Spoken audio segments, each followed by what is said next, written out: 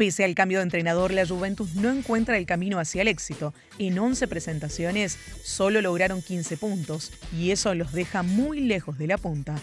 Por eso Massimiliano Allegri, luego de la última derrota, explotó contra sus dirigidos. Así informó Fútbol Italia. Adrián Rabiot, Dejan Kulievski, Rodrigo Betancourt, Álvaro Morata, Moise Kean y también Arthur fueron el foco de la crítica de Allegri por su flojo desempeño. El director técnico tomó dos decisiones la primera fue concentrar el plantel durante toda la semana según el medio digital Depo. Y la segunda decisión incorporó al plantel a Giuseppe Iberselli, el responsable del área psicológica del club. Allegri tiene encuentros complicados las próximas fechas y declaró en su última conferencia de prensa, quien pierde siempre se equivoca.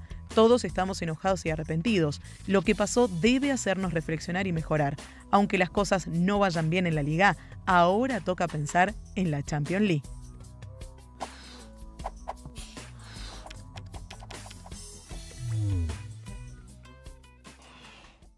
Ya que nos encontraste, no nos pierdas. Suscríbete a nuestro canal de YouTube de Telemundo Deportes.